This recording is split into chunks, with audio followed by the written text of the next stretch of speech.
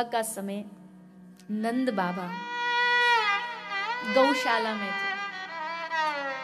अपनी गौशाला में नंद महाराज विराजमान है, आँखें बंद हैं।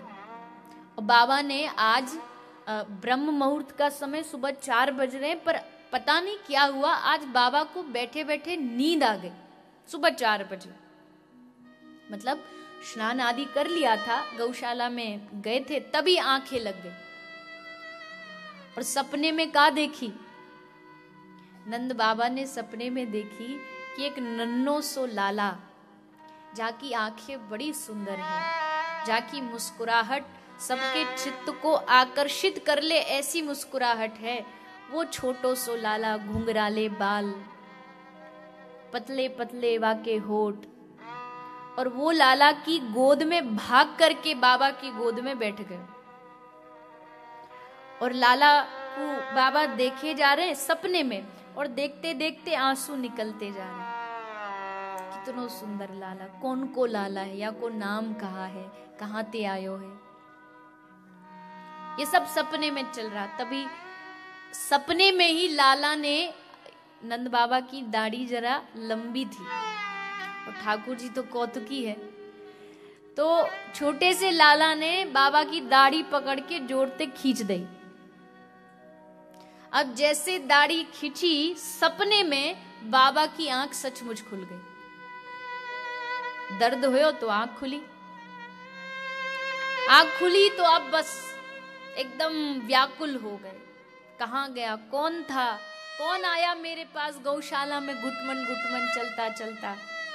मनी मन सोच रहे, अरे, थोड़ी देर दाढ़ी और खिंचवा लेते तो क्या फ़र्क पड़ जाता? कम से कम इतना सुंदर सपना टूटता तो नहीं।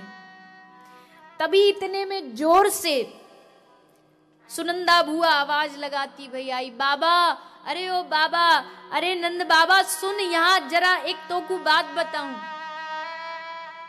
बाबा बोले, अरे बाबरी सुबह सुबह तोकू कौन सो भूत चढ़ गए हो? बुआ बोली, बाबा, भूत ना मोकू, तेरो पूत चढ़ गए हो।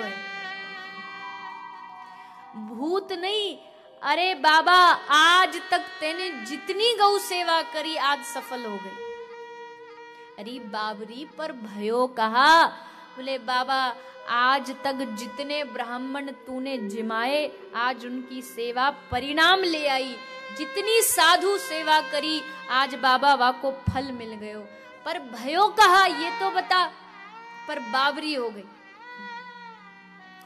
बाबा, आज तक जितनी महादेव की पूजा करी, आज वा को फल मिलो ना देखो, न सुनो, ऐसो अद्भुत, चमत्कार तेरे घर भयो है। कहा भयो है? बोले, बाबा, तेरे आँगन में, तेरे घर में छोटो सो, नन्नो सो, लाला भयो है, पुत्र भयो है। नंद बाबा ने सुनी, मेरे घर पुत्र भयो है। आज जो सपना देखा, जो स्वप्न देखा, वो स्वप्न आज साकार हो गए। बाबा रोक नहीं पाए अपने आप को।